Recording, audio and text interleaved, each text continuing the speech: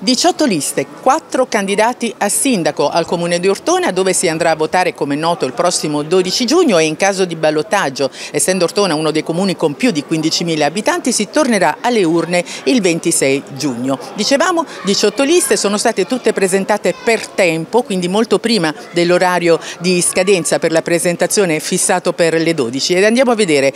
Candidato sindaco Leo Castiglione, il sindaco uscente, viene appoggiato dalle liste Il Comune delle Idee, Cittadini consapevoli, La città ideale, Forza Leo per Ortona, Ortona Civica.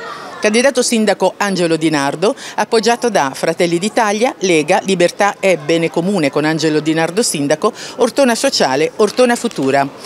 Candidato sindaco Ilario Cocciola, appoggiato da Ortona e Territorio, Unione di Centro, Ortona Popolare, Comunità e Progresso Il Faro, Ortona Coraggiosa, Ortona Cambia, Democratici per Ortona.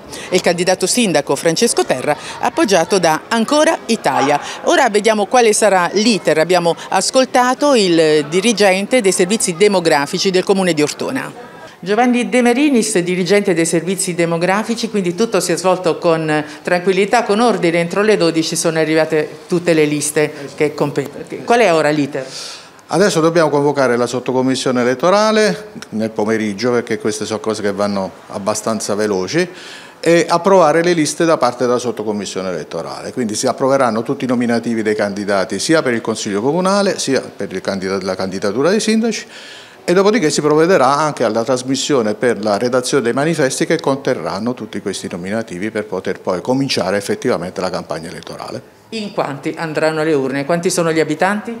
Mm, Ortona ha all'ultimo censimento 22.466 abitanti, diciamo che dobbiamo aspettare un attimo il blocco delle liste che è l'ultimo adempimento che deve essere fatto in sede di commissione elettorale, però diciamo che circa sulle 19.000 persone avranno diritto al voto.